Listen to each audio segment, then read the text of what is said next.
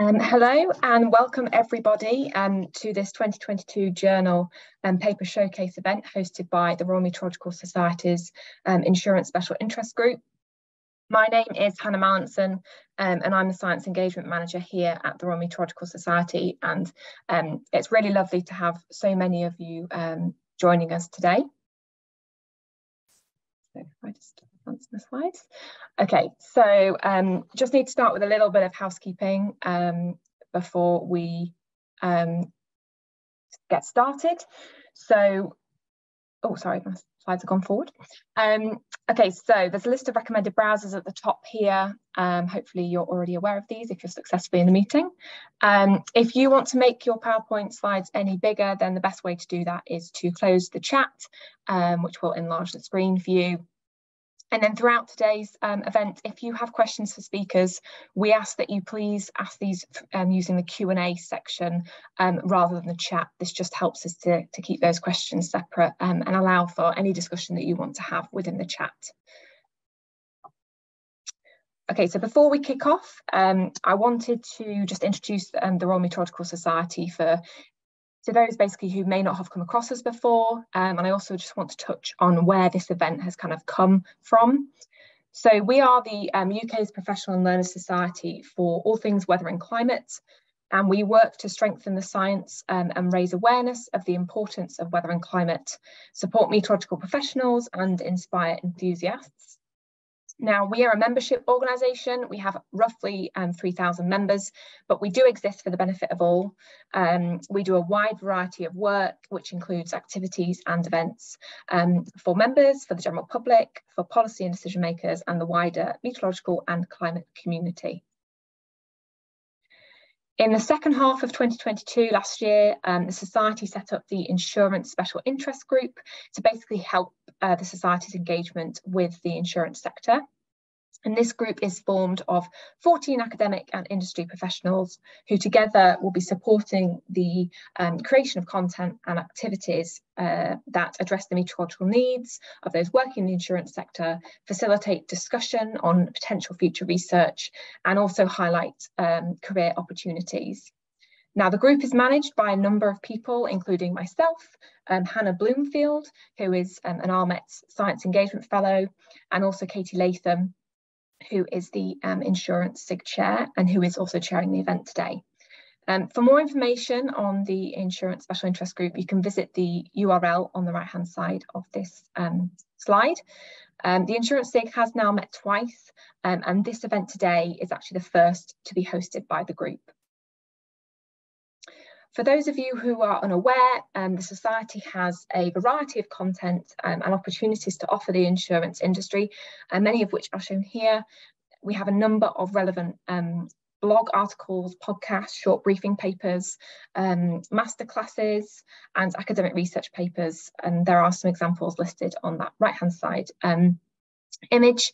And more information on these and actually links through to all of these resources are available at that um, URL at the bottom, rmets.org forward slash insurance. Uh, talking about publications, so the Society has eight peer-reviewed journals. Uh, you can see them all along the top, Geoscience Data Journal, Atmospheric Science Letters, Quarterly Journal, Meteorological Applications, Weather, International Journal of Climatology, Climate Resilience Sustainability, and WIREs Climate Change. These cover um, atmospheric science, meteorology, and climatology, and we publish a variety of different articles um, across all these journals for different audience types. Um, and again, you can find more information on these at that URL at the bottom. As shown by the red arrows, today's event will be showcasing research from meteorolog meteorological applications, climate resilience sustainability, and WIREs climate change. Last slide from me here. So I just wanted to mention um, that, oh, sorry, it keeps um, skipping along. Um, the society membership I wanted to mention uh, the, some of the benefits of potentially joining us. So these include exclusive access to professional masterclass recordings, um, discounts at chargeable events, uh, opportunity to gain professional accreditation and also access to eight peer-reviewed um, journals. So if you are interested in becoming a member, then please do head to our membership pages on our website. Uh, now that's my introduction over, so I'm going to hand over to Katie Latham now, um, who, as I said, is the chair of the RMETS Insurance SIG. She's a registered meteorologist with us, um, and she works as a senior catastrophe risk analyst at Willis Towers Watson. So over to you, Katie. And I'll stop sharing now. Perfect. Thank you very much, Hannah. And um, yeah, thank you for the introductions as well. So um, to kick off the um, first of our talks, I will um, hand over to uh, Kelly um, Dorkenoo from uh, Lund University um, in Sweden, who will be talking um, about her paper titled A Critical Review of the, the, the Disproportionality um, of Loss and Damage from Climate Change. Over to you, Kelly. Thank you, Catherine, and thank you, Hannah. Um, so first of all, I'd like to thank the RMET Society for the invitation to speak today and all of you for attending this presentation. My name is Kelly Dorkenoo. I'm a PhD candidate at Lund University Center for Sustainability Studies. And today I'll be presenting the paper that was published in WIREs Climate Change titled A Critical Review of Disproportionality in Loss and Damage from Climate Change and which was co-authored with Dr. Emily Boyd and Dr. Murray Scown. Okay.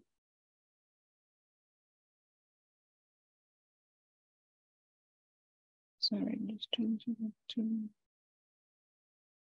there. Okay. So a bit of background for this work. Um, well, today we're seeing a, a rise in the number of extreme weather events and intertwined social and ecological consequences of climate change are increasingly interacting with socioeconomic inequalities, exacerbating them as well.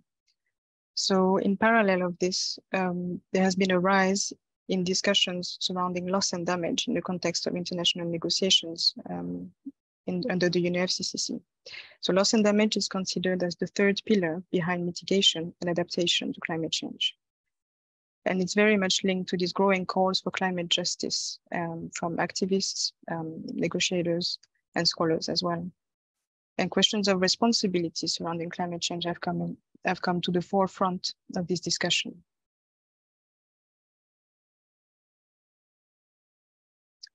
So why focus on disproportionality? Why this paper, essentially?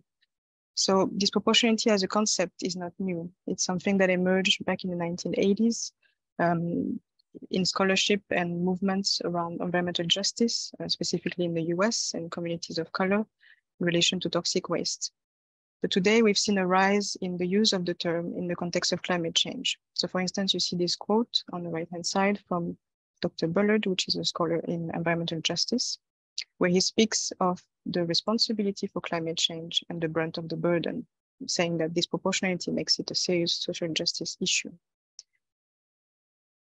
So essentially the aim with this paper was to kind of understand and explore and understand how scholars engage with, uh, with this um, concept and term conceptually, methodologically, and empirically, because it's been quite implicit so far. Um, and we chose the format of a critical review to identify gaps and assess the relevance of the concept. So to do that, we began by um, identifying different uh, themes and concepts that are used in other fields uh, that use disproportionality to build an analytical framework. So here you can see three main themes, the risk, impacts, and burdens and responsibility. Within each, there are different dimensions that we looked at. So for risk, we have hazard, exposure, and vulnerability. Impacts, uh, we have resource access, differences in resource access, culture, and knowledge. For burdens and responsibility, uh, it revolves around power and power asymmetries, normativity, and causality. So these uh, themes are divided, but in a sense, they have interconnections. So the divisions are mostly instrumental to guide our review. Um, in terms of methods, um, it's a systematized literature review. And we started off with about 1,500 articles and then focused on loss and damage article specifically because the concept is quite core and it's very present in the discourse around loss and damage. On the left-hand side, you can see the different strands of research that are including, included within loss and damage. We use that as a way to give more nuance to our results because there are different um, disciplines that come into this space of loss and damage research, so to speak. So as part of these 205 articles, we found 99 that actually engage with the, the concept of disproportionality, but only 63 that do, that do it through a conceptualization or operationalize it um, in their methodology. And NVivo was used to do text searches and manual coding of the articles.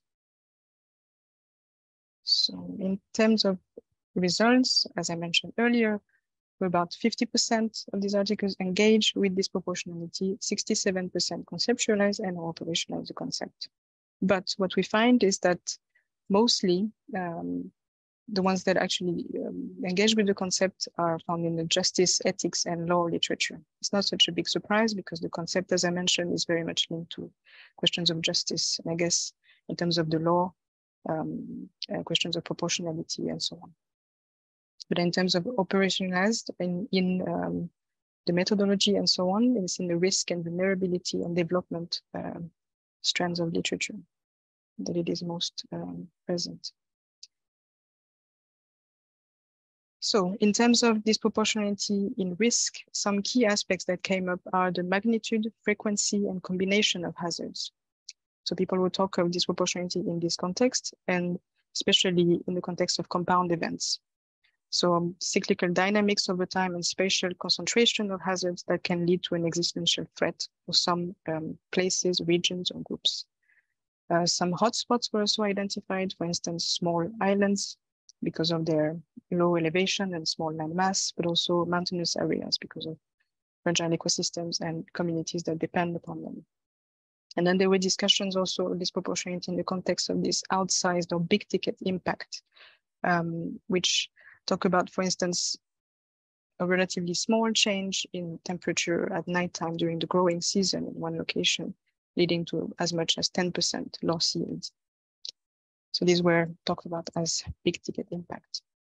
Um, okay, now if we go to the impacts, themselves some of the characteristics for groups uh, that are su subject to or expected to be subject to this disproportionate impacts or in disproportionate loss and damage. Uh, we find poverty, gender, age, and indigeneity. Also, land-based livelihoods in agrarian context are quite prominent, uh, often due to um, conditions of subsistence. So a lot of um, um, people live in land-based uh, in agrarian context, sorry, and have land-based livelihoods uh, tend to meet a big portion of their needs non-economically. So then when we talk about impacts, some, um, some aspects can go unnoticed um, because of that, because of difficulty in measuring. And then to take it a bit further, there are discussions about um, questions of violation of rights to culture and self-determination, specifically for groups that are more dependent on natural resources as part of their social, physical, and cultural well-being.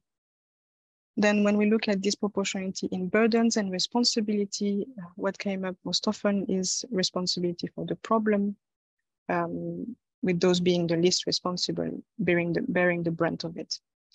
So there is this notion of historical injustice and climate debt, for instance, between countries with some nations having to reallocate their resources to face the consequences of climate change, resources which are quite scarce um, already.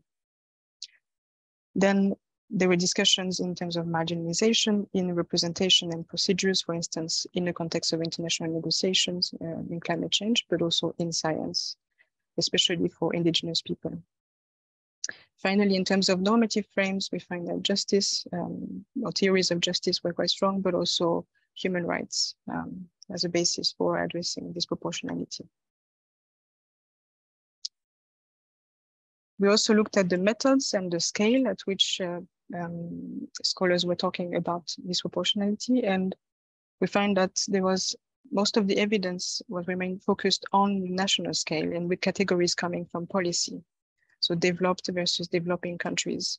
But these broad categories also can make some groups invisible within um, certain locations. For instance, within industrialized countries, developed countries, um, marginalized groups would appear as not disproportionately impacted, whereas there are more nuanced approaches to, to capture these differences.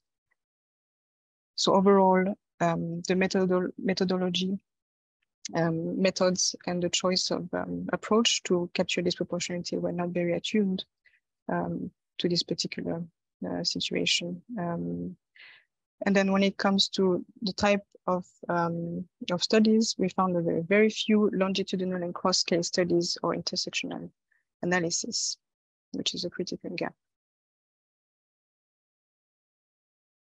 So to conclude, um, disproportionality more broadly is kind of a multidimensional concept. It can span the dimensions of risk, impacts, burdens, and responsibility. And in doing so, it kind of bridges this social, environmental, um, and past future interface.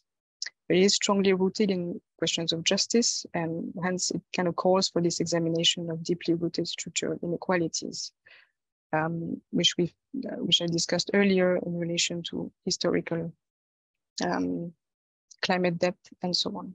Um, in terms of its relevance, it put potential use, it's quite um, linked to questions of climate risk, for instance, from compound events, to identifying locations that are particularly at risk from these, but also questions of responsibility and compensation, especially in the context of the newly established fund under the uh, COP27 in relation to loss and damage. Um, and looking forward, uh, one big, uh, one uh, important aspect is to think about this concept more meaningfully, both in research and policy, because it's really there is really a strong uptake of the term in advocacy and in science and so on. But so far, uh, based on this review, we can say that the, the methodological aspect and um, engagement with it is not as strong as it could be. There could be learnings to take from earlier work in other fields, such as disaster studies and environmental justice uh, scholarship. That's it for me.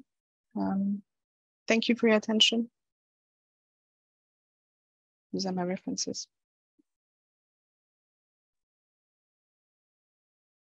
Okay, perfect. Thank you, Kelly. Um, I do just have one question um, from the chat and um, just a quick reminder um, to all the participants that you can send a, a question for any of our um, like speakers at, at any time. Uh, just please like pop pop it in the Q&A box um, on your screen. Uh, but yes, Kelly, the one question I have for you, um, uh, the compounds event uh, uh, the compound events comment is very interesting. Are there particular types of compound events or regions that are more studied in the literature? Mm. Oh, let me think.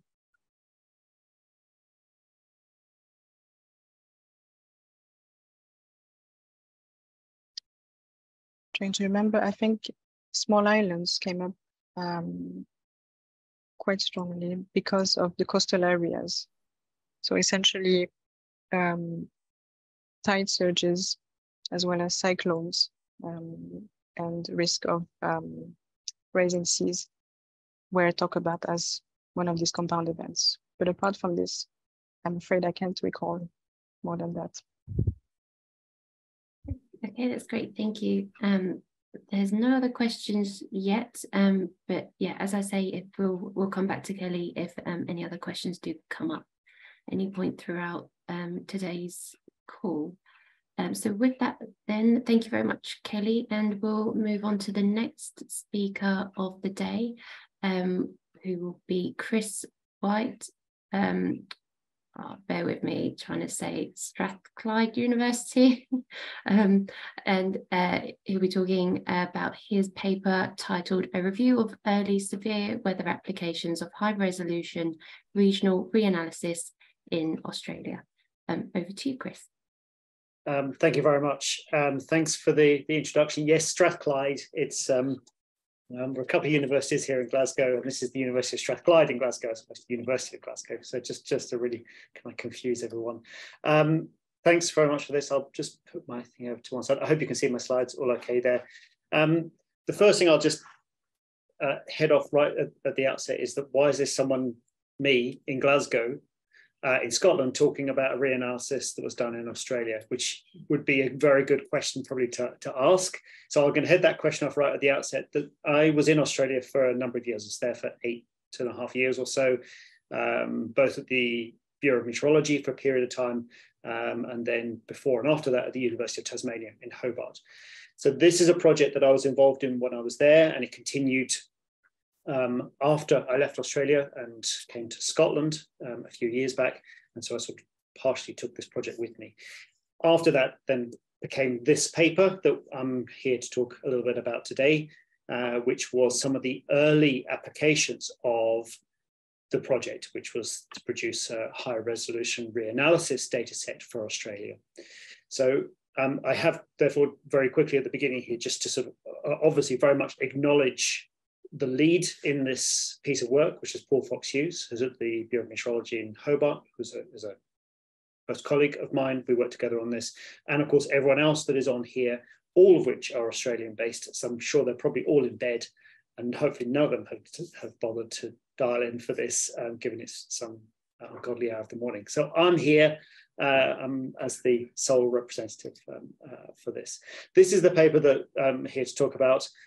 Um, it was published in Meteorological Applications.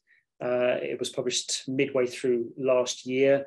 Um, and uh, was I sort of was just saying there in, in, the outset, this was one of the sort of, I suppose, finale pieces that we did uh, on the back of what was a three, three and a half year modelling project uh, run by the Bureau of Meteorology in Australia, uh, of which I had um, sort of a, a, key role from, from one perspective um, within. And what we wanted to do in this piece of work is to demonstrate I suppose, the usability of the reanalysis product that we had created over that period of time. Now, anyone that's done modeling projects, and I will get onto the applications primarily, but anyone that's done um, any kind of modeling projects where you're producing something new for the first time, involves an awful lot of people, and there much, there's a much broader range of people that sit behind it than just are, are on this paper here. Um, but one thing we were very keen on uh, as we were doing this project is to demonstrate its usability uh, because it was a new product that hadn't been produced um, uh, um, up, up, to that point. There hadn't been an attempt to do this within the Australian region. The focus then of, of this paper and indeed my, my talk is severe weather applications. And I'll try and touch on some of the potential applications and some of the demonstrations that we did within this paper that pulled uh, or you know, that utilized the data um, that, that we, the data set that we produced as part of the uh, the broader uh, reanalysis um, project as we go through. So just for everyone's benefit, for, I'll, I'll, just start with, um, I guess, getting everyone, making sure we're on the same page here with well, what is a reanalysis? Uh, probably a lot of us, if not all of us, have either had an awareness or indeed have used reanalysis data sets, uh, often when we perhaps don't have the full uh, range of observations, uh, certainly perhaps um, atmospheric uh, levels, uh, or indeed soil levels that we might not have in, in observations. Reanalysis data sets, large scale climate um, um, that we perhaps don't have, will often get um, uh, filled in using reanalysis data sets. Now, reanalysis is, I suppose, our best historical analysis of what has happened in the past. So it's a backward looking sort of data set. It's not observations, but it's based on observations and many other things that feed into a data set is then analyzed. So it's remodeled using a standardized process um, that then produces, in effect, what would have been observed in that period of time on the basis of the chemistry, the physics that, that are in there and the observations that, that, are, that are, are forcing it. It therefore provides, a reanalysis data in general therefore provides a consistent data set that you can use for climatological um, studies, to look at trends, to look at impacts of different um, processes, and indeed then start to look at different applications of how you'd use this information. Now, there, there are a number of data sets out there, global reanalysis data sets, ERA, uh, ERA Interim, for example, NCEP. Again, many of us are probably familiar with those products, but they're relatively coarse solution, um, uh, resolution, which means they can resolve some processes, but of course some they can't. So for the Australian region, it was identified that there would be a significant benefit, both from a meteorological forecasting perspective, but also from the application perspective, of producing a much higher resolution reanalysis data set to fill in, quite simply, many of the gaps in knowledge and processes that uh, were known to exist in Australia. And anyone that knows uh, Australia and the Australian topography and region, um, yes, it's a, a hot place, uh, by and large, but there's an awful lot of variation within there as well. And there's an awful lot of topography. There's also, of course, an extensive coastline around Australia and indeed more broadly across the Australasian region. Most of that, or a lot of that, isn't captured within the coarse resolution um, reanalysis uh, data sets. The figure you've got here is ERA Interim. So this is one of the global reanalysis data sets. That's 80 kilometers. This is just showing uh, 10 meter zonal wind. Um, and you can see, you know, this is one part. This is the sort of southeast corner, uh, and I think uh, down in, in uh, into New South Wales. Um, shows a reasonable resolution, but at 80 kilometers, you're only going to pick up some um, uh, some of the uh, the artifacts as well as some of the processes and some of some of the, the information that you would need from a reanalysis data. At a higher resolution, and I'll explain a little bit of what these two are in a second before I get into the applications, but at 12 kilometer resolution, you're starting to pick up, of course, a lot more detail in here that starts to pick up the topography and a bit more realistic. And then again, if you then go to an even higher resolution, at this point here, we're starting to see something that uh, is far more usable and let's say um, uh, uh, demonstrating what we would think of as reality. Even at one and a half kilometers, they're still relatively coarse compared to reality. We know that wind in this case, of course, vary very much at, at more local scales than that. But this sort of data set will give us a whole range of information that we just didn't have available to us before. For this, pro this project, it was a three, three and a half year project called uh, BARRA. I can't off the top of my head remember exactly what the word, what the letters BARRA stand for, but basically it's the Bureau of Meteorology's regional reanalysis, something in there that, that says BARRA. Um, uh, it had two domains in those figures I was just showing there. The first domain is 12 kilometers. That covers actually a much larger region than just Australia. It is very much Australasia, includes the southern half of India, includes New Zealand, Indonesia, and several other countries and islands within there as well. And then within those are, were also then produced um, four sub-regions or four different uh, full, uh, high resolution areas at the one and a half or pro approximately one and a half kilometer scale as well, including Tasmania. And that's the reason that I was involved in the project because uh, we were, it was a very much collaborative project and we got the, the support and the funding from the Tasmanian government side to help support the national, indeed international process that, that produced the reanalysis data set.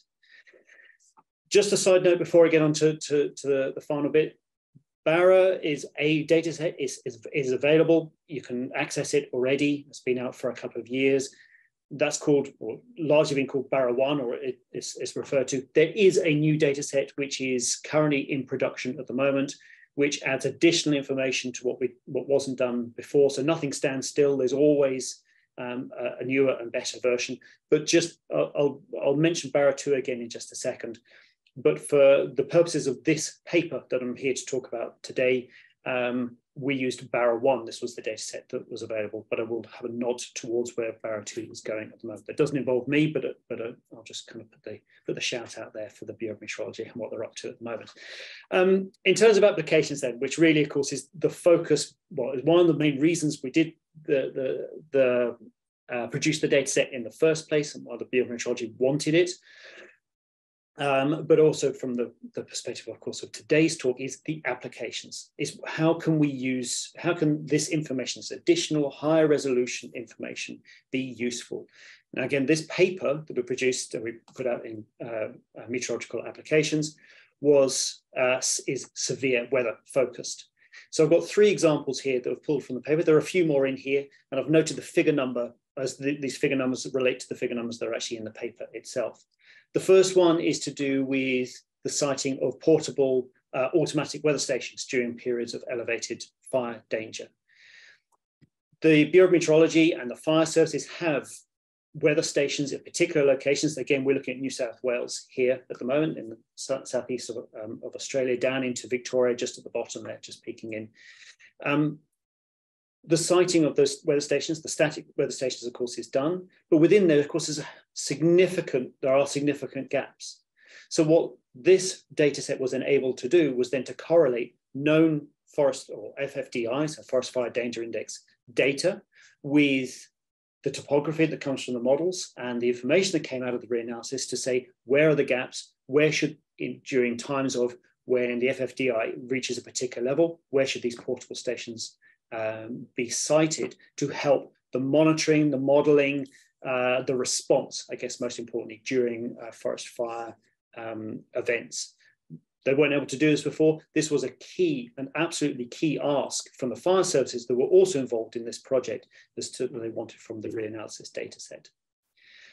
Thinking a bit more towards perhaps the insurance sector as well as others, but perhaps building codes, planning um, as well more broadly is wind. So wind shear, storms of, of course, so severe or very gusty winds in, uh, and everything from there through to the siting of where you've replaced wind farms.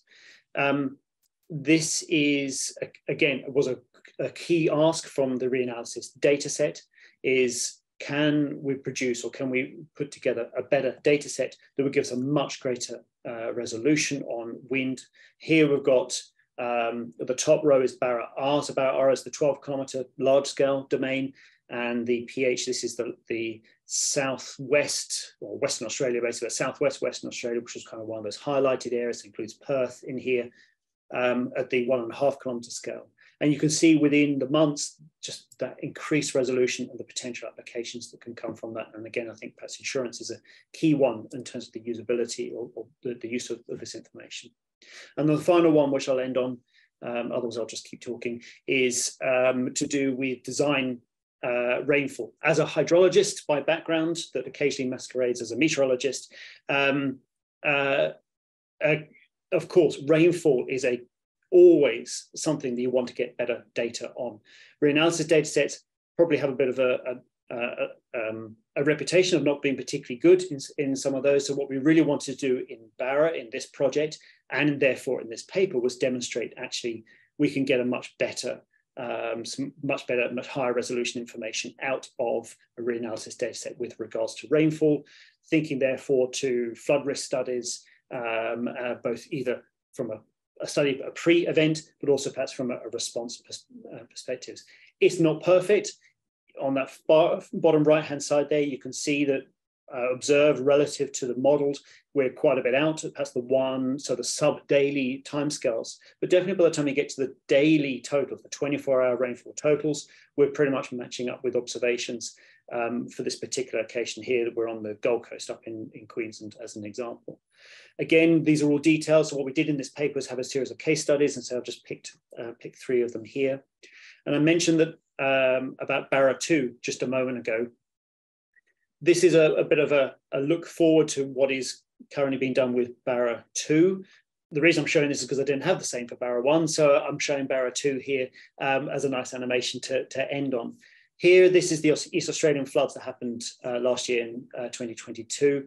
Um, so of course the, the reanalysis data will be extended to include this period, but here you can see a, a, a really neat um, uh, comparison, a visual comparison where you've got ERA on the left-hand side of the global sort of reanalysis data set, and then what will come out of BARRA 2 on the right-hand side from the events and the flooding that, that occurred um, on here. So again, the potential use and application of this, I think, is really quite apparent where you can start to see the resolution that comes, uh, comes from something like this. Um, I'll say end there. Thank you. I'm probably a little bit over my 10 minutes. I'm very sorry. Um, but I'll stop and ask if anyone has any questions. Thanks very much. Great, thanks, Chris. Um, no, you're you're okay time wise. Um, so um, yeah, thank you for your um like interesting talk there. I do have one question in from um our participants. Um, so sorry down now. Uh, the figure of wind speed for BARRA SY seems to show strong boundary effects. How do we know that those are not affecting the results inside the model domain? Yeah, um, uh, good good question. I think we um, we spent quite a bit of time looking at the observations that we had uh, from wind. Um, I think, like any data set, though, there are going to be artifacts like this, and I think a lot of the learnings that we did with BARRA One, they are. It's not. I say I'm not involved in BARRA Two, but they're very much looking at um, um, how to feed that into into BARRA 2. So specifically to do with the, the, the boundary effects, yes, I'd agree. I think there are some of those within there. Are they model? Are they other? Um, I think that's probably work in, in progress. Um, but I think generally what I'm, I think with this paper in particular, what we're trying to show is sort of the broader sort of um, usability. The questions like this, um, there are other papers which where we cover some of the, the processes in more detail about how the data set was produced um, and um, I suppose the skill of that data set um, afterwards. I can point people to, to those papers um, as well. They're not Ahmed's papers, sorry. that's okay, that's great. Thanks so much. Um, we do have uh, one more question I think we have time for, so um, I'll read that out now. Um, how, how does BARRA do with capturing extreme events like cyclones? Um, uh, so the two, I suppose, two two ways to answer that question. So uh, I, am unaware of any dedicated studies yet that have looked specifically at cyclones within uh, the that um, are being captured by uh, the BARRA dataset. Um, but given what we were showing there, say with the extreme rainfall and the and winds, um, we're pretty confident that cyclones are captured particularly well because things like sea level pressure is pretty robust within the reanalysis data set. And of course, the, the pressure is going to very much dem be demonstrated in, in the cyclones. Um, again, I'm not too sure what the chaps at um, the Bureau are doing with BARRA 2, um, but I would imagine cyclones, of course, are going to be a key component of that because the Australian region, of course, is very much affected with cyclones. So I can't really answer your question um, uh, directly. Um, but um, I, I, think with the resolution that, that we've got in, in, the model, I think that there are some good skill that will come out of it. Perfect, thank you. And uh, there is there is another one. Um, do these regional reanalyses exist in any um, exist in many other parts of the world? Yes, they do. Um, I don't have the slide in this this set. Actually, there are uh, three or four um, of those. Um, are these slides going to get shared after the, the event? I'm happy to sort of dig out that slide and add them to these slides. If not, um, I believe so. Um, one of the handlers can correct me if I'm wrong. I think okay. they will be. Uh, if if not, um, yes, so the answer is yes. Um, I don't have the information to hand, but yes, there are. Um, there's one for the one for the US. There's another sort of that covers the, the European region. I believe there might be one that covers um, the Indian region as well. But um, it's a little while since I, I, last looked at that information, so I can't say off the top of my head. Okay, that's perfect. Thanks very much. And um, uh, yeah, I'll uh, leave it there for questions. But obviously, please do continue to drop your questions into the chat um, if, if, if anybody does have some. But thank you very much, Chris. Thank you. Right, and with that then, I'll move on to our third speaker, um, who is Thorsten um, Wagener from the University of Potsdam. Um, we'll be talking about their paper titled On the Evaluation of Climate Change Impact Models. Um, over to you, Thorsten.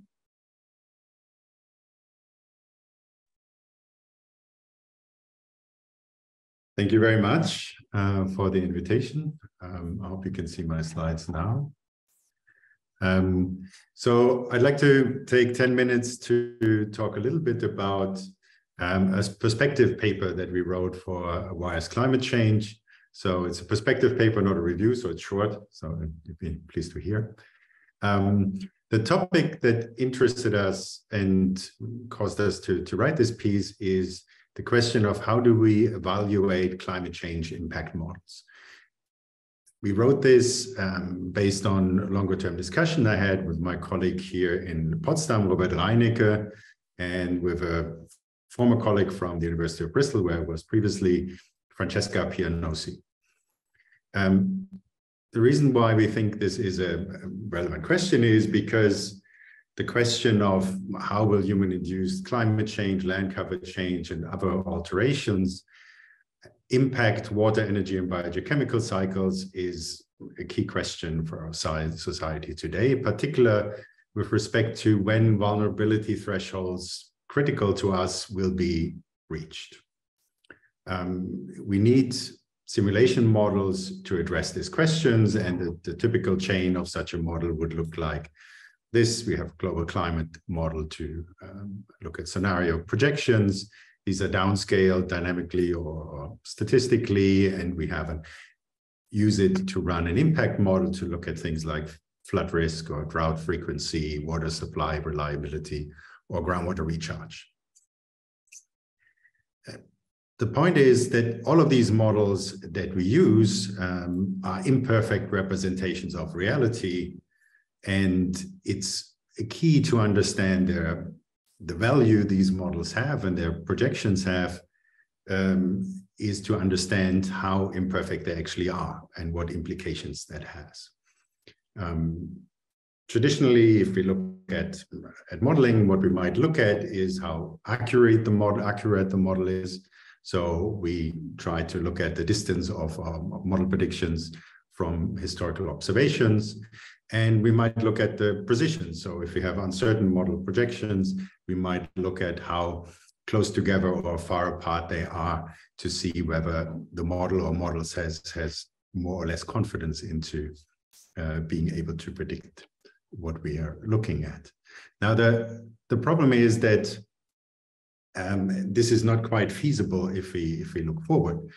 Um, and we need a slightly different framework. Now, in a recent study by Eker et al., they surveyed over 160 water resources modelers to see how do they actually assess their, their model and the quality of their model, but including when it comes to looking at climate change impact assessments of a scenario model.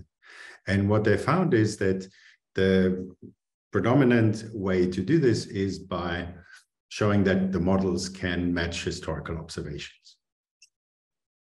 Now, the, problem is that if we go forward in time, the real value of our model comes from looking at periods that are considerably different from the past and therefore being able to match the past is only an, um, a necessary maybe um, strategy to show that our model works, but it's it's not sufficient.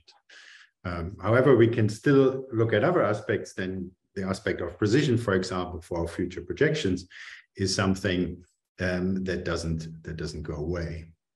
So how do we use this? So in the discussion, we first of all discuss why the observation-based evaluation approach, so where we look at how accurate our models are to matching historical observation, is insufficient.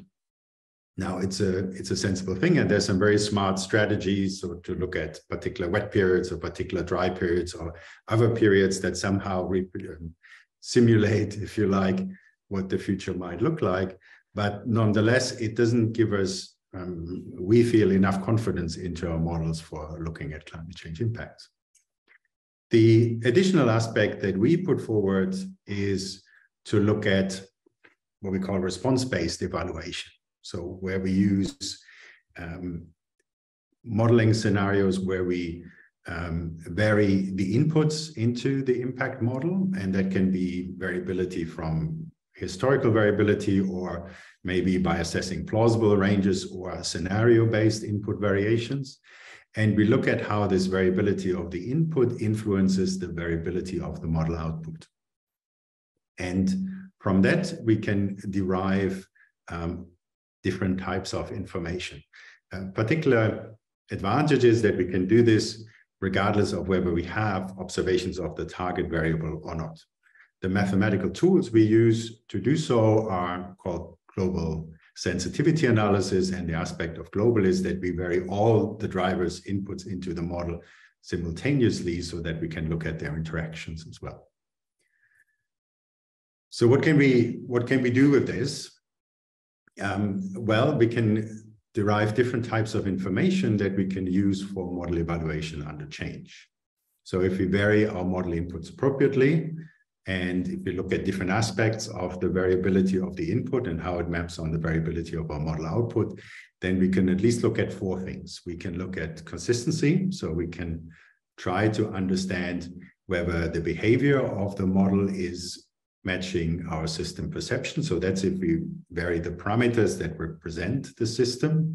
So soil types, soil characteristics, or land surface characteristics.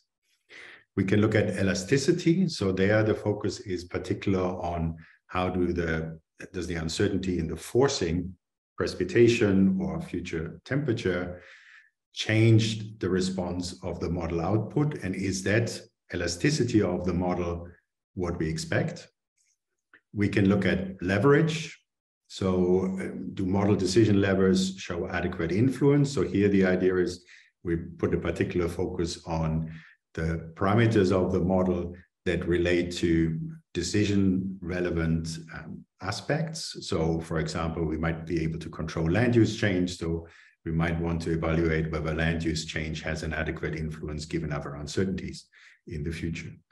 And attribution, can we attribute uncertainty sources throughout the projection horizon? Can we understand what uncertainties dominate over different time horizons? And I'll give you a couple of examples of this um, very briefly. So an example of elasticity is um, this study, which looked at how does the model system respond to plausible climate change in the context of uh, water resources systems models.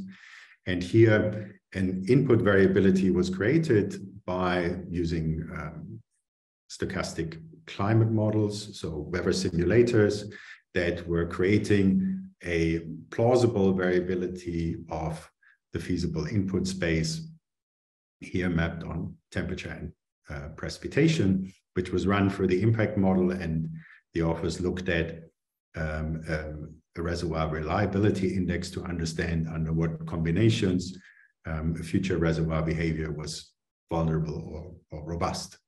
So that's looking at whether the model would reproduce um, the adequate response of the forcing.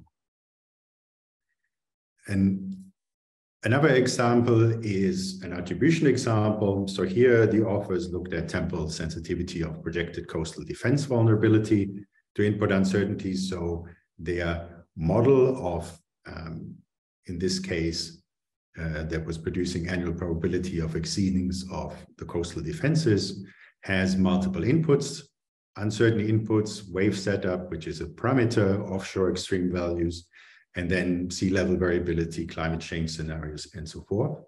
And what the authors showed very nicely is that in this graph, you see the red line is highest in the beginning. So the uncertainty coming from a parameter called wave setup, so a parameter that describes the smaller scale processes at the coast. That uncertainty is dominating for several decades before about mid of the 21st century, uncertainty in global sea level rise will then dominate the uncertainty in their estimate. So if you, depending on what time period, what time horizon you're interested in, understanding, you will have to be confident that you can um, define different uncertainties or different input variabilities to understand what controls your model results. Um, so as a, as a final slide, um, we have other examples. We interacted with um, AXA XL, for example, on looking at CAT models this um, report here, you can you can Google. It has a mock-up example study with a with a CAT model. Didn't put the link in there because it was covering like half of my slide. It's a very long link. Um, and if you're interested in these kind of um, methods, our um, own methods are available in uh, Python, R, and MATLAB. It's a toolbox that covers our methods and the key methods that are widely used for download from GitHub. And um, the paper has more details um, if you're interested in. Thank you very much.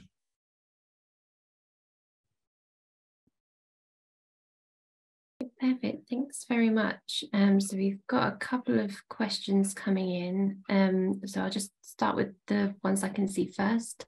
Um, so um, how can we evaluate a model in cases when we have a black box model or a model whose computational demand does not allow GSA to be applied?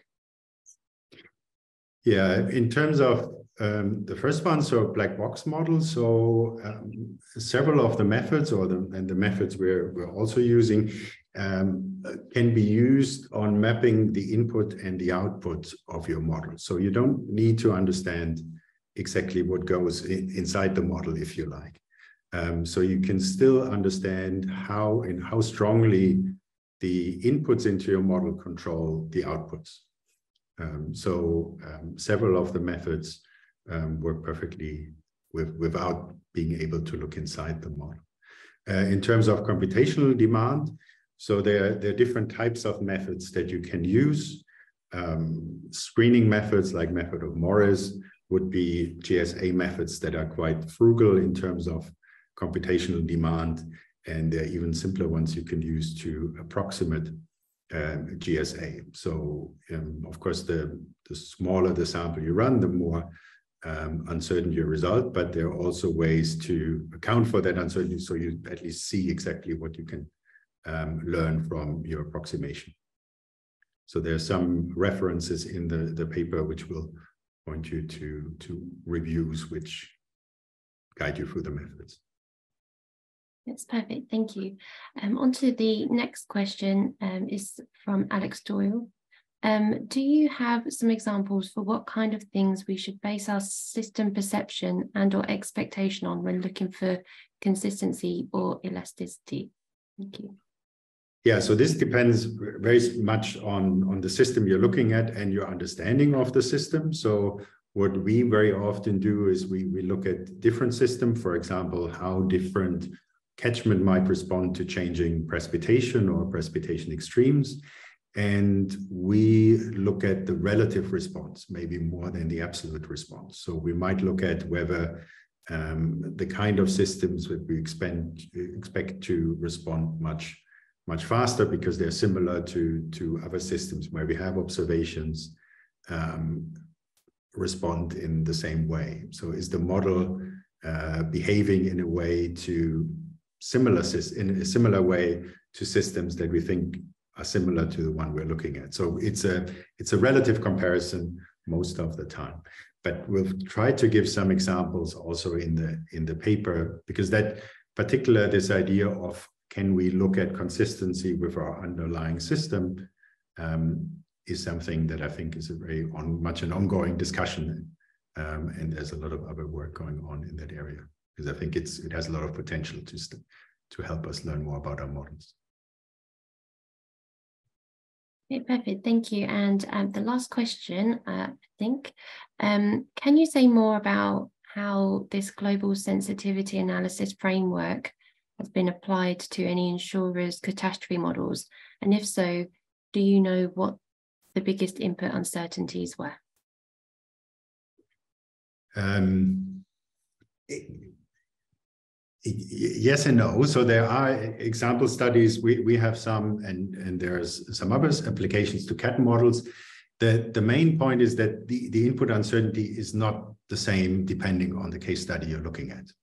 So it depends on the situation, depends on the peril you look at, depends on the framework. So there isn't the, the, the whole um, important point of doing this sensitivity analysis is that there isn't one answer that will be the same everywhere or for every situation. So that makes it um, rather relevant to understand how this uncertainty changes.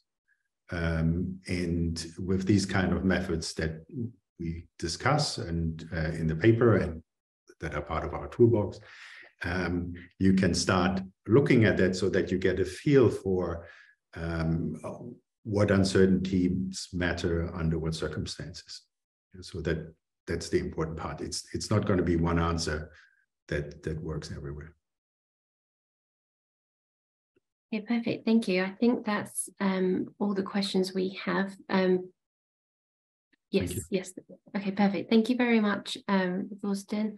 Um, with that, we'll move on to our final of um, the uh, paper review talks before we go on to the panel discussion.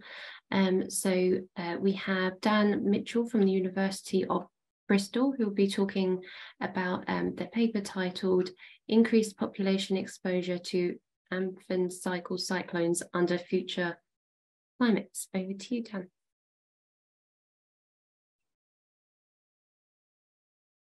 Oh, we can't hear you. Yeah, there we go. Thanks very much. Uh, hopefully you can see the slides. So I'm Dan Mitchell, I'm from the University of Bristol. Uh, this was a paper that we wrote a couple of years ago. Um, it was for it was for the journal uh, Climate Resilience and Sustainability, which is uh, was very new at that point. I think we were sort of one of the first papers in there. Um, Uh, always risky going for a new journal, by the way, but it was Royal Met Soc, so we didn't we didn't mind going for it. So our paper is looking at um, uh, a new way of coupling up uh, models, so climate models to impact models and and population exposure. Um, one of the things that, that this results in is a, a lot of authors because you have to have a lot of experts along the way and I'm not going to go into who all these authors are, um, just to say we've got uh, population exposure people, so, so Lawrence. We've got uh, flood inundation modelers, um, so James, and there's many there from the Fathom um, uh, company, which I suspect some of you will, will know of. They're a flood in, inundation company. Um, storm surge modelers, uh, then, because we're looking at um, this tropical cyclone called Amphan, which um, hit Bangladesh and India, we've also got some local climate scientists and hydrologists. So, um, uh, so uh, um, Saleemul, for instance, is, uh, is is working on loss and damage. So I suspect Kelly knows his work very well. Um, but a lot of the the work we're doing here is talking about uh, how uh, losses may not have occurred um, if we hadn't had human-induced climate change. So um, a lot of our stuff here speaks very nicely to the lo loss and damage agenda, although we didn't explicitly address that here in, in this, this proposal. So there's a lot of people involved here, and um, uh, uh, I guess that that's reflected in this figure here. I mean, so, uh, to be honest, Thorsten's explanation of uh, coupling models was much better than this and neater graphics, but but essentially, we've gone from a climate model. Um, there are various different resolutions of climate models. So I'm not talking about the, the regional climate level data that Chris talked about in, in his talk. I'm talking about global climate models, which can predict sea level rise. So these typical models are, are of the order of 100 kilometers. Um, a storm surge model, so that's a separate thing a flood inundation model, which is again a separate thing, and then a population model. And so the problem here, and Thorsten mentioned this, was that at each at each stage here, you've got uncertainty in your model. And so you're combining an uncertain model with a, a, another uncertain model.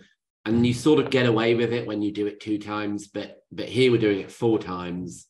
Um, and so that was a real problem. And I'll talk a little bit about how we um, how we dealt with uncertainty in that in that case. So going back to the exact question we're asking, we're doing something called an extreme, extreme event attribution study. That'll mean something to some of you and, and to others it, it won't. Essentially, it is when we have an extreme event, and that could be a heat wave or, or in this case, a tropical cyclone, um, many people asked the question, how would have that event changed if we'd never had uh, greenhouse gases pumped into the atmosphere? And um, strictly speaking, it's an it's an impossible question to answer because uh, you could never take an event and have the exact same event in, say, a, a world with different greenhouse gases. So, strictly speaking, it, it's not a, a well posed question, but in reality, it does provide a nice context for, for many things we want to answer, especially in the insurance sector. And so we can say, for instance, if an Amphan like tropical cyclone hit uh, Bangladesh, but under different levels of global warming, how, how would have that extreme event changed in terms of the risk? So that's what, what we're looking at. Um, how do I get rid of this, this thing? Hide video panel. Um, so this is the this is this track of uh, of Amphan. Um, India is in white here and Bangladesh is in grey. So it sort of hit the border of India, Bangladesh. Um, this, what we've done here is we plotted the storm, uh, storm surge height along the coast. So you can see here that really the values are around two to four meters, depending on where you are on the coast. So that's that's really high. You really just visualize that in your in your office or at your desk at the moment, two to four meters is extremely high. Um, if that occurs at the wrong time within a tide, uh, that can be particularly uh, devastating. But what we're looking at is if you have uh, sea level rise caused by human induced climate change, uh, you've got this sort of storm surge sitting on top of that sea level rise. So, so essentially you can get the uh, storm surge pushed much further inland. So that was what the paper was about. So actually my colleague um, from Fathom um, uh, wrote this this talk initially, and he wrote it for the insurance sector as as they are a sort of insurancey type firm. Um, and so he has included sort of very relevant things that perhaps I wouldn't have here. But this was the Cyclone Amphan um, inundation forecast. Uh, so 20th of May 2020. And it essentially the UK uh, government, the UK aid asked Bristol, my hydro hydrology colleagues, to do a, a, very rapid fire assessment of what the flooding would look like from uh, Super Cyclone Amphan. So this is uh, this was a, a, lecturer here called Jeff Neal who leads that side of, the project, and essentially they looked at how many uh, uh, hundreds of thousands of people would be exposed to different levels of flooding. And I won't go into detail too much of these figures, but just just looking at the right one here, this is again that map of India and Bangladesh. Um, and the colors show the percentage of population exposed to uh, flood inundation from that event. So we're talking about uh, the order of five five percent in the sort of extreme scenarios, uh, extreme regions here, um, and that translates into hundreds of thousands of people being exposed along these, these lines. So just to take a step back, um, what is the climate change potentially going to do in this region? Um, I've looked at three scenarios. I'm not going to go into the details of really what they are. Let's just concentrate on the low end scenario. Um, this is in agreement with uh, what we would say the upper Paris Agreement climate goal is. And then let's look at a high emission scenario. So one that uh, we hope we we don't get to and looks like we we hopefully won't be on on par for that at the moment. And then I've taken the latest uh, CMIP six models. They're called so they're the latest climate models from around the world, and we've plotted the global mean temperature of of each of these models. So the scenarios are on the x-axis here. Um, so for the low emission scenarios, you can see the spread is up to around three degrees uh, global mean temperatures uh, but the average is directly on two degrees, which is that upper Paris goal. For the high emission scenarios, we're much higher, um, and the, the mean state is around uh, 5.5 degrees. Some of these models at the top, um, we don't necessarily think we're going to get that that high, but um, there are something they are something we could consider. So now looking very specifically at the region, what do they say about sea level rise? Um, this is the range in meters of sea level rise in the Bay of Bengal, especially for the month of May. Um, so this is what you'd expect perhaps that storm surge to be sitting on top of. And that really extreme scenario, we, we nearly reach a meter sea level rise. Um, and at the really low scenario, we've got about a, a fifth of a meter in terms of sea level rise. So what we've done is we've just we've just picked um, two scenarios here. We picked the average sea level rise from the red and the average from the blue, and um, uh, and I'll, I'll show you those results. So this is the change in population exposed, and I guess this is the, the sort of main figure of the talk. Um, so on the x-axis here, let's just take this low emission scenario, so the panel A. On the on the x-axis, I've got the population exposed, so the increase in population exposed. So just to remind ourselves, that's if super cyclone Amphan occurred in a future where we have um, stabilized at this uh, RCP 2.6. So at, stabilized it around two degrees uh, average uh, warming, uh, which is a, a likely scenario. On the y-axis, we put different levels of flood inundation. So these are three levels that uh, I, I'm told the insurance industry uses quite frequently. So um, 0.1 meters up to three meters. And then we've also split it into uh, India versus Bangladesh. And what you can see here is actually, uh, you even see some negative values here. So what are we saying? We're saying that climate change is a, is a good thing for uh, for Bangladesh if we stabilize at this scenario. Um, that's not what we're saying. I'll, I'll explain why in a minute. Uh, but for India, it looks quite bad. Um, in one case, we're almost getting 100% more people exposed to this uh, mid-flooding case. So let's just look at those values in the high emission scenario, that's C here. Um, and again, for, for really severe flood modeling, uh, sorry, flood inundation, so three meters, we're actually seeing not much change at all in Bangladesh.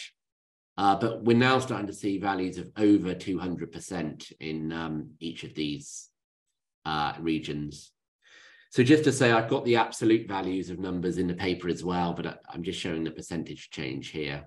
Um, because of course, there wasn't too many people exposed to th three meters before. So um, it's a sort of high percentage of a small number, which is in some sense quite easy to get. So why are these some of these values negative? That's because we've also included um, population movement and urbanization in these results. And actually the population decreases in India and Bangladesh around 2050, 2060.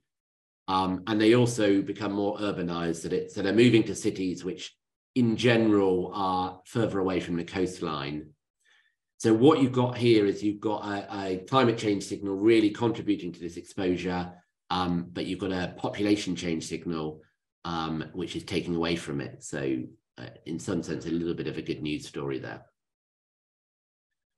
Um, I won't go through these values specifically.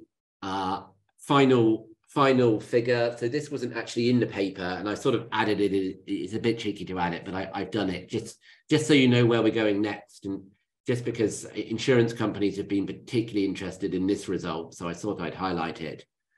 And this really goes back to the point um, Chris was saying in his talk is that uh, to get to sort of hazard relevant scales, we need to think uh, beyond our, our, global data sets. And so um, Chris shows a regionalization of a, a reanalysis.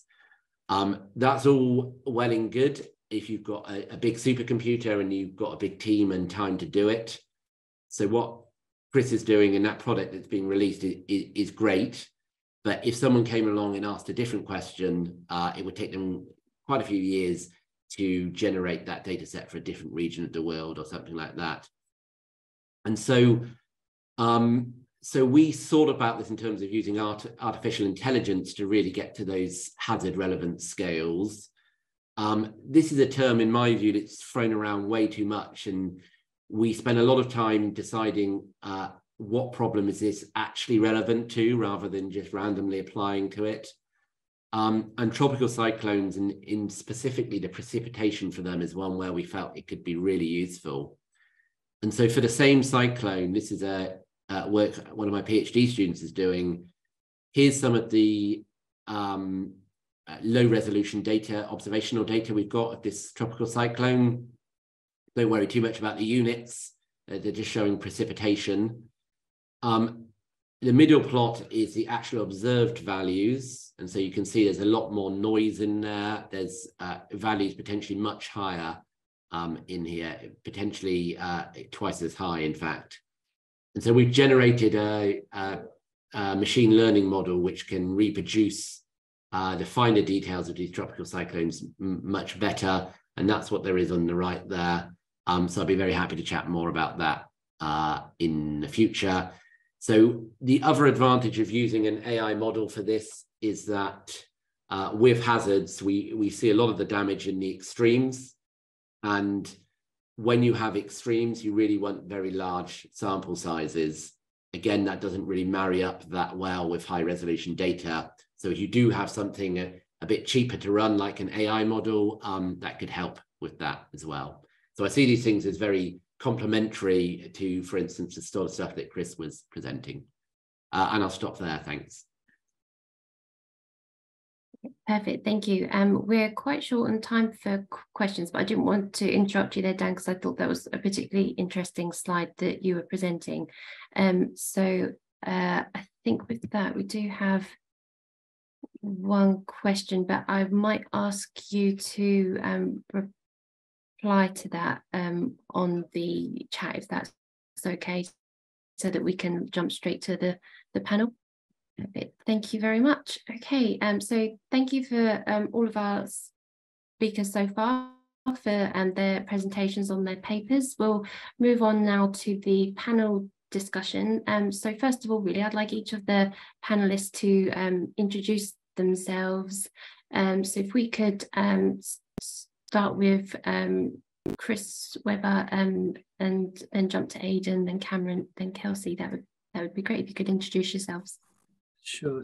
Thanks, Katie. Um, so my name is Chris Webber. I work at Brit Insurance. Um, we're a specialty insurer, reinsurer. Um, so as, a, as like a risk carrier, we accept premiums and we in turn indemnify those that insured when there's a loss. So I work within the research capacity of Brit, um, helping them develop their view of risk. The idea being that we take the uh, so meteorological and non-meteorological perils and we and we look to see what we should be charging, how much we should be reserving in terms of a capital in terms of a capital loading to make sure that we don't go insolvent when a big typhoon or hurricane hits. Uh, My son. Yeah. Cool.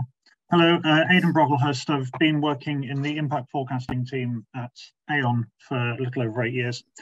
Impact forecasting is Aon's internal catastrophe model development team.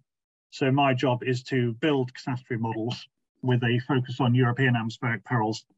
And uh, before that, I uh, did PhD at Reading.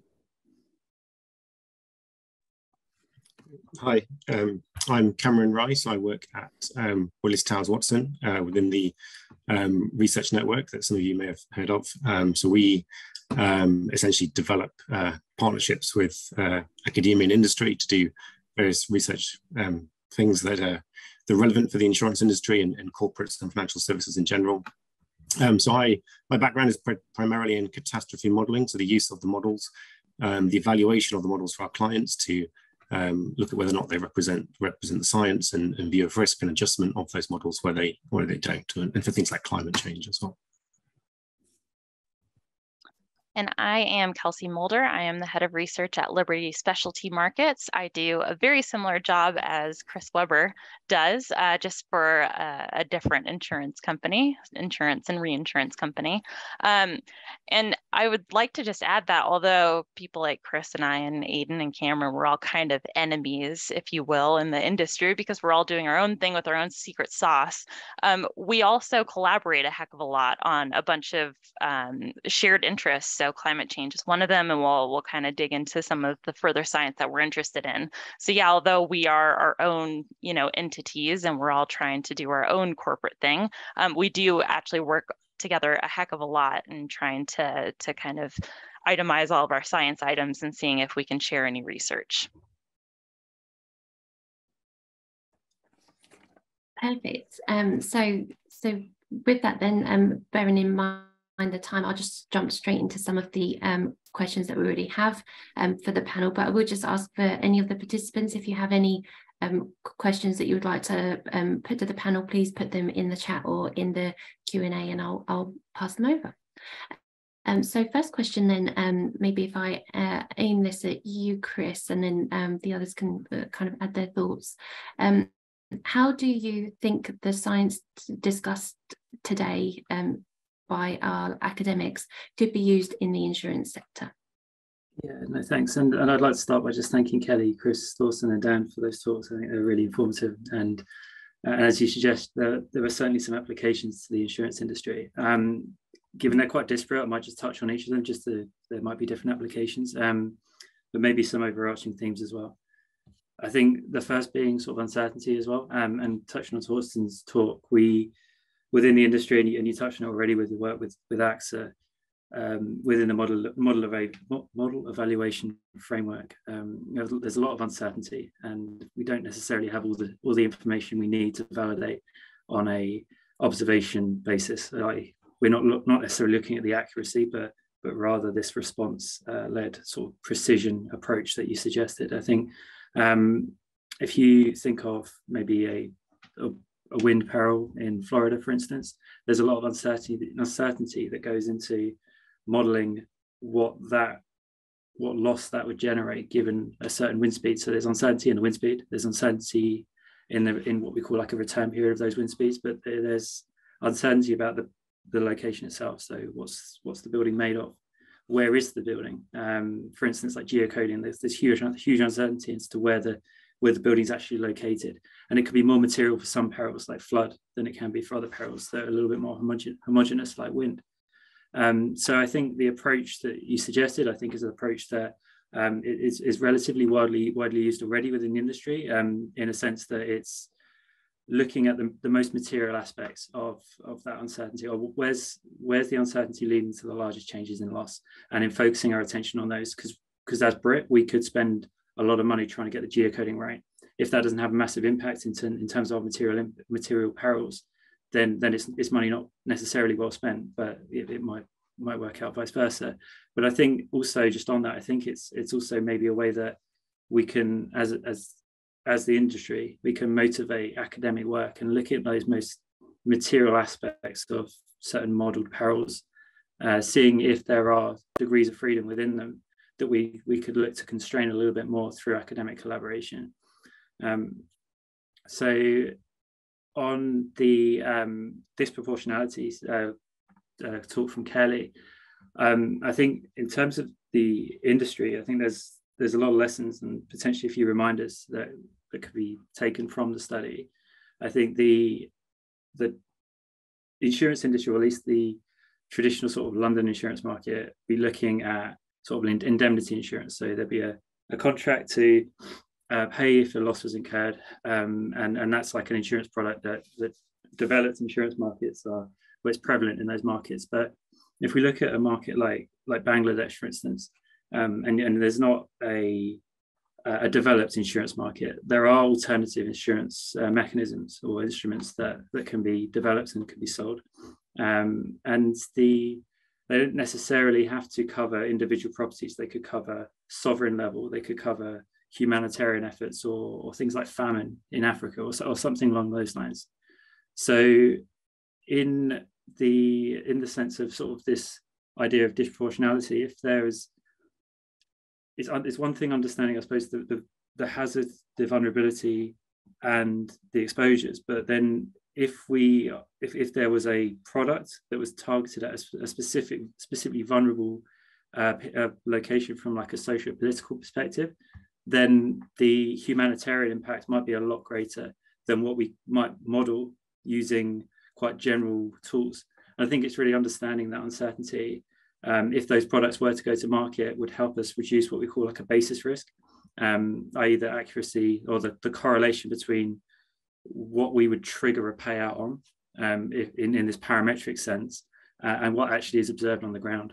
Um, I think, yeah, it's just completing that whole picture and identifying where are the most vulnerable areas and how we best serve those through the insurance industry because ultimately the insurance is a is a tool to to help improve resilience in these regions uh, and then maybe more directly i think um, and and you touched on this in terms of the uh, the, the looming litigation risk um, and attribution of uh, climate um, well if, if there was for instance a class action brought against uh, the financial sectors there might be um, some some cause for concern at the moment within the insurance industry uh, regarding that.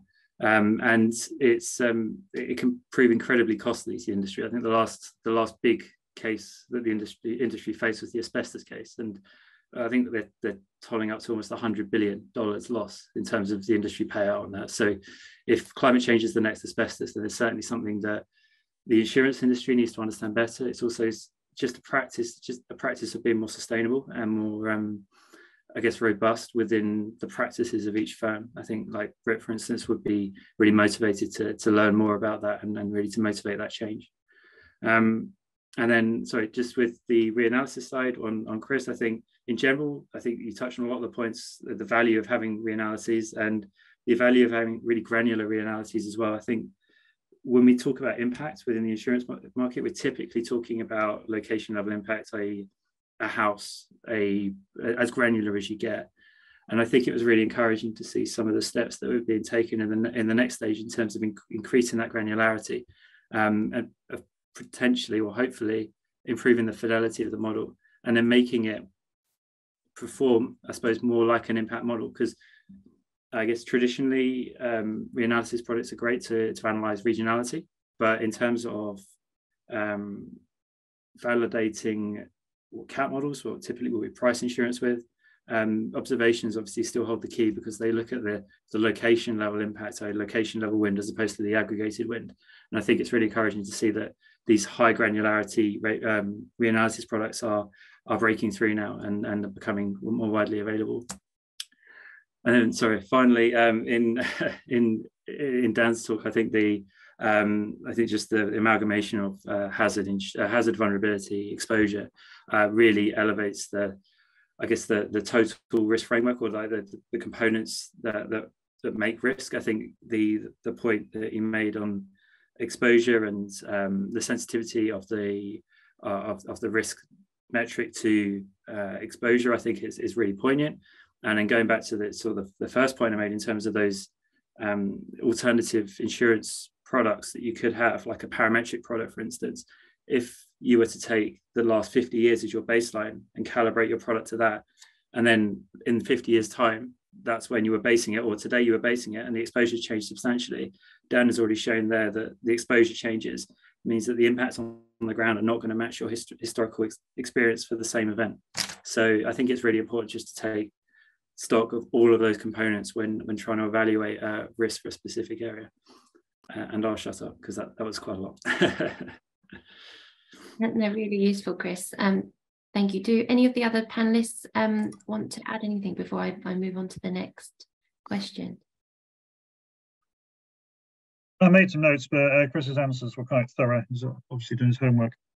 Um, I thought the papers are great. The um, convective storm climatology stuff from the reanalysis in Australia is quite uh, is a lot of interest to me without barging in an answer to the to the third question.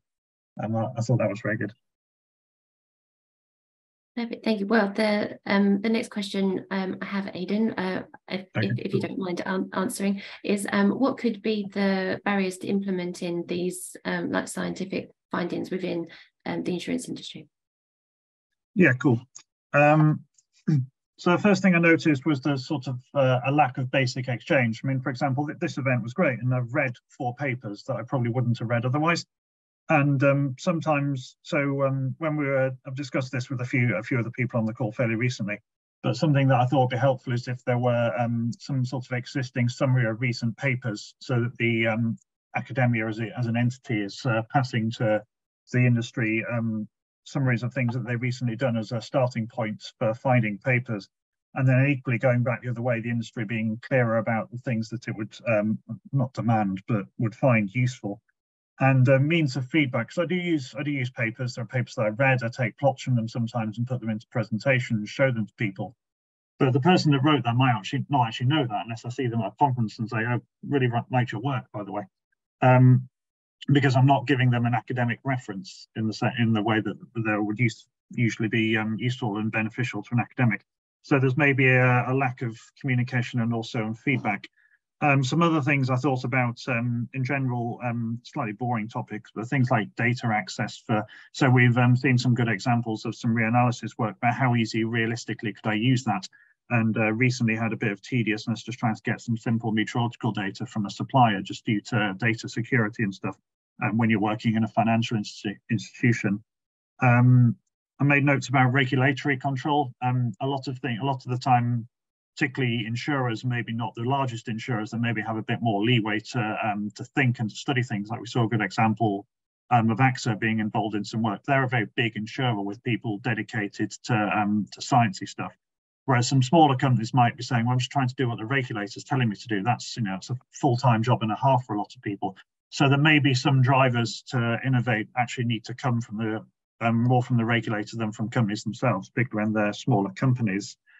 Um, I think that people in the industry that with an interest in science, so include sort of myself and the rest of the panelists perhaps, can try and push back up the need to spend more time looking at science to management. So I can say, look, I want to spend some time doing this. And at the end of the year, when I say, look at this scientific work I've done in these conferences I've attended, the manager would say, that's great, rather than why have you done that?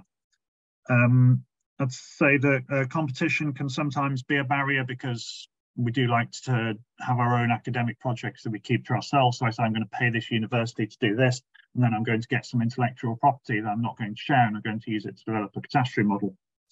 Um, there was an interesting point earlier about um, black box models, um, and I think that's um, so. A lot of the a lot of people working in a university, and, maybe some people on the call would uh, would agree or disagree, um, probably haven't used properly used a catastrophe model. I mean, I make them, and we license them to insurance companies or use them within Aon as um, commercial products.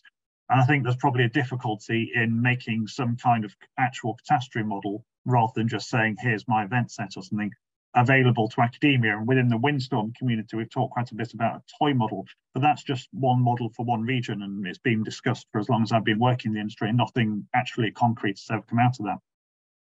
So maybe stuff like open source uh, modeling and open source platforms might make it possible for developers to take, say, uh, simplified versions of models at lower resolution, maybe only with sort of basic vulnerability functions, and make those available on some sort of academic uh, research-based non-commercial license. But I don't really believe that happens very much at the moment, and I think it's difficult for us. I mean, I'd, I'd love to say to uh, anyone at a university, if they said, hey, can I use your windstorm model? I'd say, yeah, of course, sure. But actually making that happen is almost impossible on a, one-to-one basis. A whole load of other people would end up getting involved, and it probably wouldn't happen. Um, I think that runs down most of the notes I made. I don't want to sort of hog all the all the potential points if anyone else wants to jump in. Yeah, I mean, I was just going to echo the point about the black box model. Um, I think that's really important.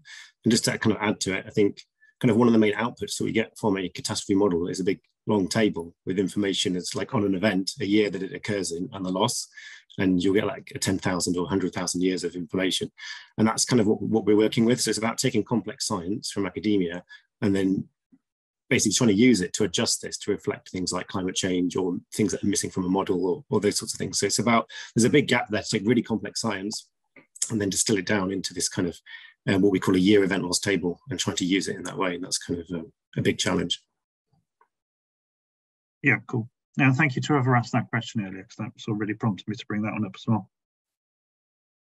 One thing I'll add with this is um, some of the science that comes out is is potentially really regionally specific, which can be really useful from a model user perspective. So let's say that we're noticing that wind speeds are underpredicted for a very particular part of Japan. I mean, that's really useful as a reinsurer who is looking at wind speeds in Japan. But kind of following on to Cameron's point, it's sometimes really hard to implement in model output. So that's kind of a, a blessing and a curse. So um, I know a lot of academic articles can have huge ranges of uncertainty, and you can say, okay, well, overall, Japan might increase in wind speed between 10 and 50%. And you may think that's not useful, but actually, it's arguably very, very useful um, for, for catastrophe model users like me who can do some of the sensitivity testing that uh, we've been talking about. So um, be specific, but also if, if you have some kind of more vague or more um, more, I guess, wide wide ranging uncertainties in your research, actually that is arguably also very useful for us. Thank you. Um, so we've just got one minute left to go. So Cameron, um, could you um, put your thoughts together for um, the final question? Uh, what big topics would you like to see academics thinking about in the future? Okay, I'm going to try and be super brief then. Um, so I think, so I've got, I've got three sort of key topics that can come to my mind. So the first one is um, present day climate conditions and variability. So there's a lot of work done on future climate, which is great. Um, but I think sometimes we can overlook what's happening present day. Um, so I think a lot of CAT models are calibrated based on history and often to kind of match the frequency and severity distributions that we've seen in history but that's kind of got an implicit assumption in there that that history is correct, right? So it's kind of at the median of the variability distribution, and it's not, right? Mm. And so we need to do more to understand where where kind of you know history sits within that kind of range of variability. The second one is secondary perils, and so by this I mean um, things like um, small and medium-sized losses, um, like wildfires, floods, severe convective storms that can accumulate to a large loss to the industry. There's a trend at the moment in the market where these losses are increasing, and lots of people are trying to understand what's driving this. Is it? It's probably partly climate change, partly changes in exposure, exposure, inflation, maybe some other factors. And there's lots of research that needs to be done to better understand this. Um, and then finally, um, linking hazard and vulnerability. And I thought Dan's talk was really good, kind of, um, you know, link, doing that whole kind of chain, right, from hazard all the way through to vulnerability. And often in, in you, you'll see academic research that focus just on one component. And, you know, we need to do more research that's actually linking those things together um, to kind of, yeah, that, have that whole value chain that can then be, you know, adding extra value to the insurance industry that way. Perfect. Thank you so much for, for, for your thoughts and for also keeping it casual. Appreciate that. Um, any final thoughts um, before I close the call? No, happy. Okay, great. Thank you. Um, so um, I'd just like to say thank you to um, the Royal Meteorological Society um, for um, um, facilitating this event and also for all of our um, speakers and panelists for their um, their, their contributions. Uh, I believe it's been recorded, so should be available um, somehow, maybe on the website. Yeah, the website, the website, perfect. Um, and yes, just also then finally want to thank all of our participants for joining us today. Um, I hope you found it to be insightful. Um, but please do reach out with any questions if um, you have any. Thank you very much. Thank you. Right.